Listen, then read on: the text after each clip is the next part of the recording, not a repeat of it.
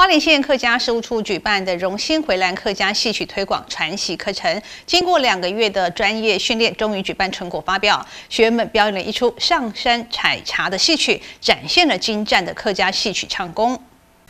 由客委会指导，花莲县政府主办的荣兴回兰客家戏曲推广传习课程，在十月六号开班。在专业师资群的密集训练下，每一位学员很认真参与，努力练习。经过两个月的训练，终于举办了成果发表会。荣兴采茶剧团这两个月来密集的训练，真的是投入了非常多的老师的心血。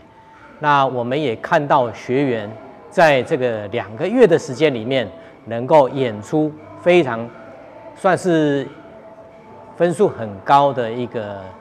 表演的专业技巧，那这一些都是我们客家事务处啊，在县长许正卫啊他的提点之下，那也获得了客委会经费的挹注跟支持，那再让让这个计划呢能够顺利的推展，我们的目的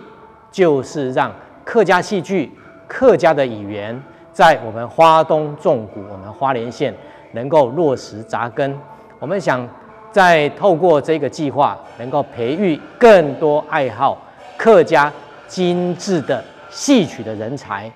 成果发表会由学员们表演了三角采茶戏《张三郎茶郎》系列故事中一出上山采茶的戏曲，其中山歌对唱更是让现场气氛嗨到最高点，掌声热烈不断。客家事务处处长彭伟竹表示，明年度会在争取进阶班的训练课程，让更多人体验客家戏曲的魅力，也透过传统戏曲学习，让更多人喜欢客家文化，进而在社区当中扩大推广客家精神。这里会简详报道。